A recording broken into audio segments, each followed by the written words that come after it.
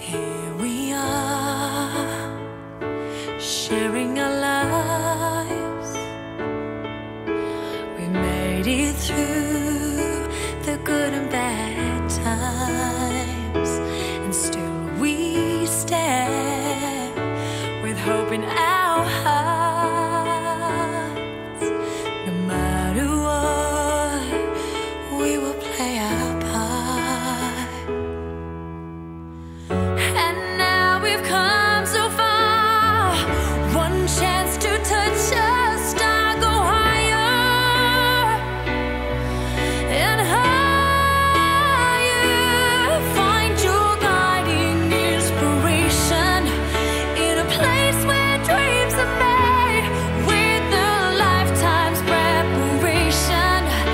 so tired.